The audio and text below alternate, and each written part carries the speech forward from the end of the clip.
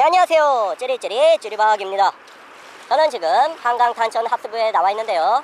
사실 어제 월미도에 낚시하러 갔다가 바람 바람 똥바람이 작살나게 부는 바람에 낚싯대 꺼내지도 못하고 짜장면 한 그릇만 때리고 예, 급하게 집으로 돌아왔는데요. 제가 오늘 아침에 일기예보를 살펴보니까 아, 지금 전국적으로 15에서 20m가 되는 똥바람이 강하게 불고 있어서 이번 주는 바다에서 낚시를 못할 것 같습니다.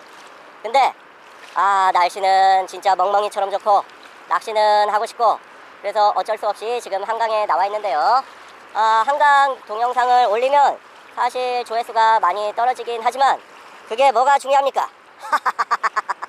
네 여기가 바다면 어떻고 한강이면 어떻습니까?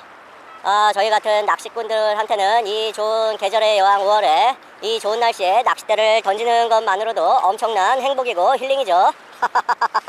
아 여러분 지금 5월밖에 안 됐는데 아 날씨가 벌써부터 이렇게 많이 더워갖고 큰일입니다.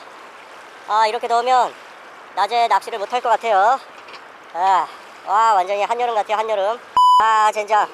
오랜만에 꽝치게 생겼는데요? 아 이 젠장 입질이 없습니다.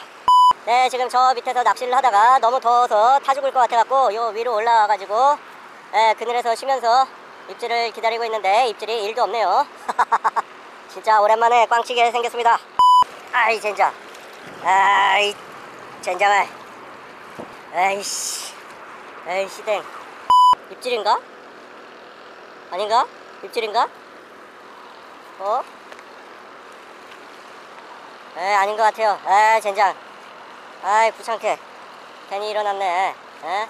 지금 여기서 보면 계속 까딱까딱 거리는 것이 입질 같기도 하고 아닌 것 같기도 하고 내려가서 보고 있으면 더워서 죽을 것 같고.